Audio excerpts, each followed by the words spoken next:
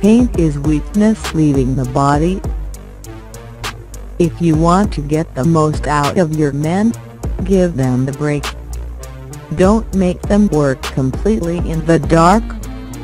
If you do, they won't do a bit more than they have to.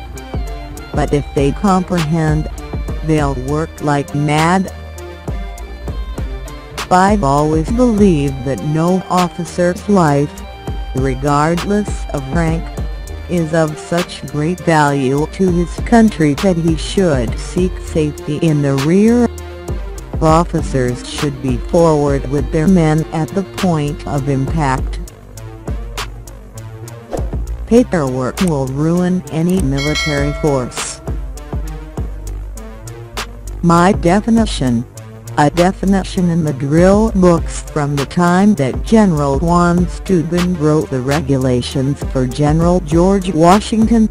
The definition of the object of military training is success in battle. It wouldn't be any sense to have a military organization on the backs of the American taxpayers with any other definition. What the American people want to do is fight the war without getting hurt. You can't do that anymore then you can get into a barroom fight without getting hurt.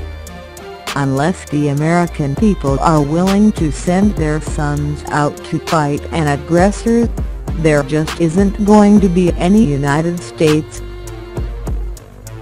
In the Confederate Army, an officer was judged by stark courage alone, and this made it possible for the Confederacy to live four years.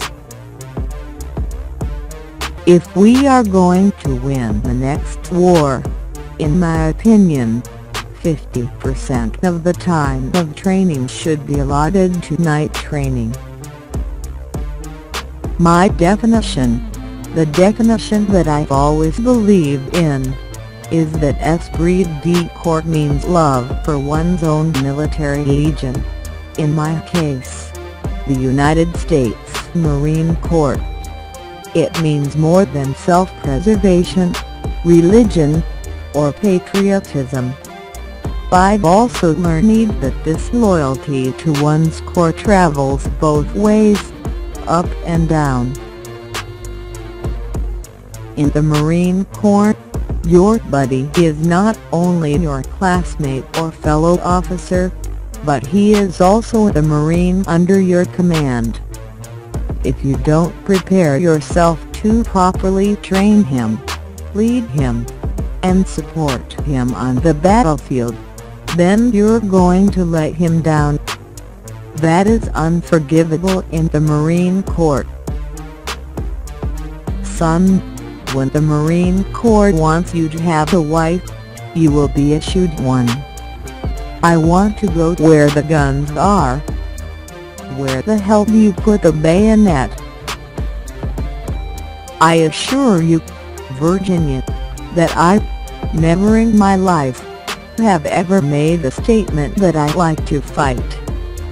In the Confederate Army, an officer was judged by stark courage alone.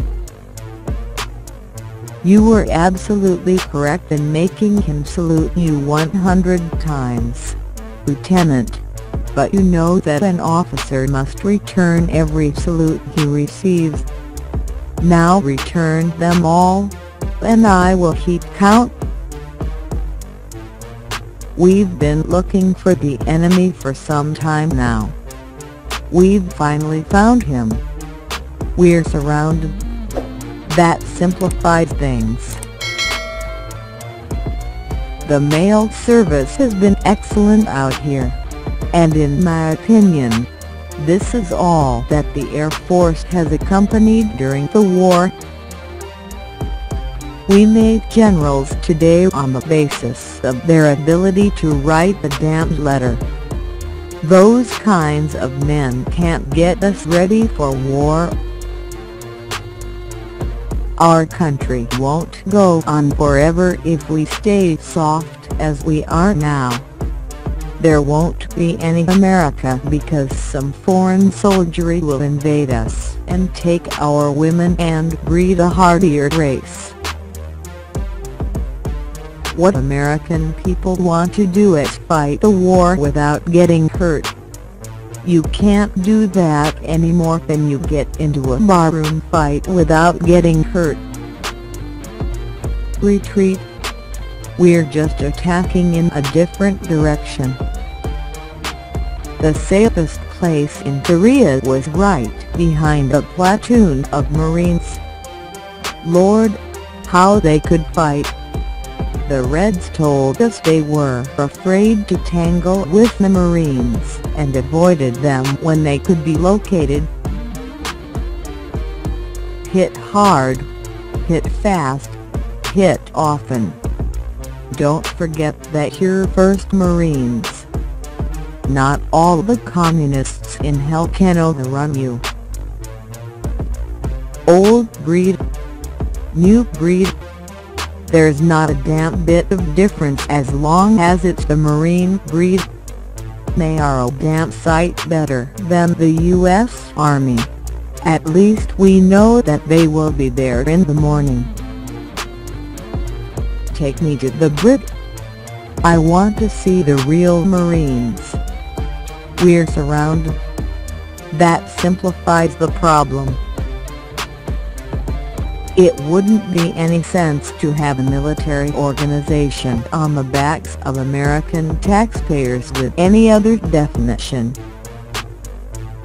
Puller during the Korean War, Battle of Chosin Reservoir, while motivating his men. All right, they're on our left, they're on the right, they're in front of us, they're behind us. They can't get away this time. Great. Now we can shoot at those bastards from every direction.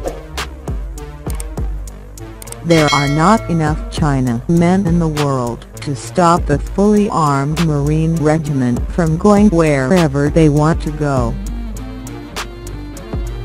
I'll take care of my men first. Frozen troops can't fight. If we run out of ammunition, we'll go to the bayonet. Let them get in close. Don't waste a ammo. Get your share. Remember, you don't hurt them if you don't hit them. Those days in the woods saved my life many a time in combat when an army captain asked him for the direction of the line of retreat. Al Puller called his tank commander, gave them the army position, and ordered, if they start to pull back from that line, even one foot, I want you to open fire on them. Turning to the captain, Chesty Puller replied Does that answer your question? We're here to fight. At Koto Ri in Korea,